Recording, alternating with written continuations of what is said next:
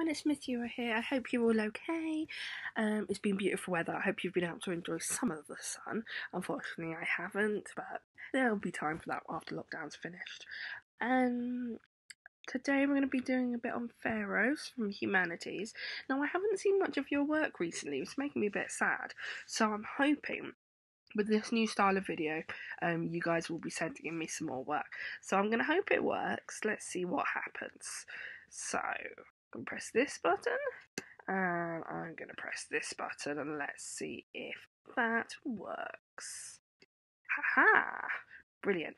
So, hopefully you can still see me down in a little bubble on your left hand side of the screen. Um, so today is all about pharaohs. Um, you can see the email address at the bottom of the screen, and that's for you guys to send your work to. Um, so it's yr3 at grange.harrow.sch.uk.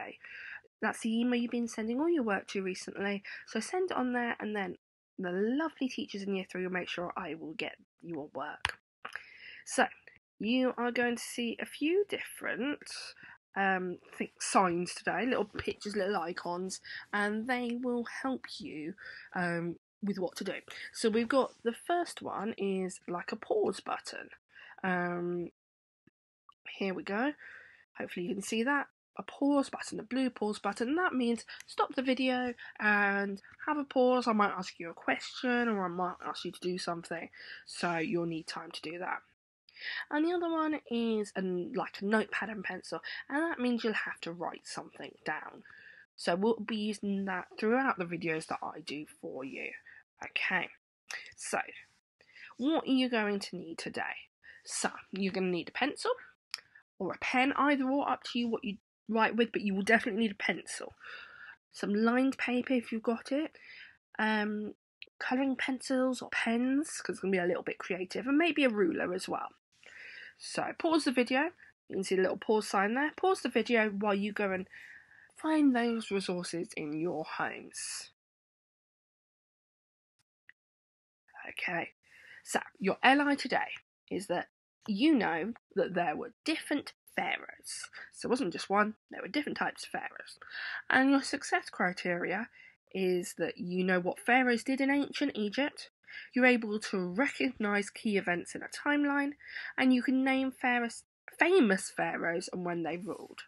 So, pause the video while you write down your LI and don't forget the date as well. Okay, so make sure you pause, otherwise, I'll be moving on, you'll miss out on the rest of it. So, recap questions. We recap number one. Who was the most important person in ancient Egypt? Now, you should know that from the work we've done before Easter. So, you should know who the most important person in ancient Egypt is. Who was the least important pe- people or person in ancient Egypt? And do you think it is important to have a class system? That's the pyramid, and why? I want you to pause the video and write down your answers to these questions. I would love to see the answers, by the way. Okay, I'm going to go through the answers. So, who was the most important person in ancient Egypt? Well, hopefully, you guys have written down pharaohs. Pharaohs were at the top of that pyramid of hierarchy. They were the most important. They were seen like gods. Okay, the least important per- people in ancient Egypt were, hope you've got this one right, slaves. They were right at the bottom of that pyramid. So they weren't important. And now, this last question it's up to you. Do you think it's important to have a class system and why? So some of you might think, yeah, it's important. It's important to have important people because they make the rules, and it's important to have people at the bottom. We can't all be equal. Some of you will say, no, but we all should be equal. I'd love to see your answers. So, what is a timeline? We use timelines quite a lot. I know Mr. Losa has put on some Purple Mash timeline work for you guys. Um, last week, I think um, some of you might have done it, or if not, it'll be this week. A timeline shows us a, um, a set of events in an order. So, for example, for myself, it'll be when I was born. Maybe my next event would be when I first went to school, when I went to middle school, when I went to secondary school, and so on and so forth, but it'd be in order with dates. They can be used to give us information about important events that happened. They list the events in chronological order, that means from furthest away to closest to now. So, we're going to look at a timeline of ancient Egypt. So, you can see here that the Upper and Lower Egypt were two separate lands. And that was all the way back in 5500 to 3100 BC. And BC stands for, anybody know? Before Christ. Then we go, we look at the first pharaoh, Pharaoh Narmer. That was in 3100 BC. And we've got hieroglyphics. We're going to do some hieroglyphics work in the coming weeks. Um, you have got um, loads of things going on on here. Ramses the Great ruled. That's another pharaoh. You've got Tutankhamun ruled. That's another pharaoh. Cleopatra the Seventh ruled. Wow, there's loads of different things. Do you notice that they all are in chronological order? However, it's a little bit confusing because for us, we think, oh, but our years go up because we're after Christ has been born. So we're Anno Domini. And so for this year it's 2020, but next year will be 2021. But before Christ doesn't work like that. So if we were 1279 BC, the next year would be 1278 BC, so it counts down all the way to 1 BC. See if you can do a timeline of your, for yourself. That'd be a quite cool activity. Right, did you know? The ancient Egyptians did not call their king a pharaoh. It was actually the ancient Greeks that invented the word. That's pretty cool, isn't it? So, pharaohs were the kings or queens of Egypt. Do you think they were men or women usually? Pause the video and write down a little note. Do you know what? They were usually men, but there were quite a lot of women as well that did. There were pharaohs. What do you think the pharaohs did? Think about what we discussed last term. We did a lot of discussion based on the pharaohs and the hierarchy and what they might be in charge of. So pause the video, have a little write down of what you've done. So, oh, let me just. Can I move my bubble? I'm not sure I can. The ancient Egyptians believed that pharaohs were half man and half god, and it was thought that after death they would be joined with the sun and a new pharaoh would be sent to rule on earth. Remember, they made the laws and were in charge of the army. So, the ancient Egyptians believed that the pharaohs were sent from up high in by God, and they would be sent down to rule on earth, and they were half man and half God. Does anybody know any religious stories about that? There might be one. Pause the video and write a little bit about what you've just learned about who pharaohs are. So, our task today. We're going to look at some of the important pharaohs. And you're going to draw a picture of each pharaoh that we learn about, and you're going to surround them with key facts about their life. And I really, really want you to be as creative as you can with this. If you wanted to, you could carry out further research with your grown ups about these pharaohs. Maybe you have a book, or maybe you have access to the internet, you can have a look. Oh, um, did you know there are over 150 different pharaohs? That's crazy. That's a huge amount. We won't be looking at all 150 today, don't worry. So, the very first pharaoh so, as we discussed earlier, the Egypt used to be split into two kingdoms. The Upper Egypt, that was known as the White Crown, and the Lower Egypt, known as the Red Crown. Around 3100 BC, the north and the south they joined together. The first true pharaoh, King Narmer, ruled over it. Do you remember we said about pharaohs weren't called pharaohs back in ancient Egypt? Well, they were called kings and queens instead. Narmer created the new capital of Egypt, known as Memphis, which sat on the border of the north and south. So, I'd love you to draw a picture of the first pharaoh Narmer, King Narmer. That's a picture of him. It's a picture of a stone carving of him. And then I'd love you to surround him with the facts about his reign. Pause the video and you can do some learning work now. So our second pharaoh we're going to look at today is Ramses II. Do you see the two lines? One is um, Roman numerals, so one line would mean one, two lines mean two. They are also classified as eyes.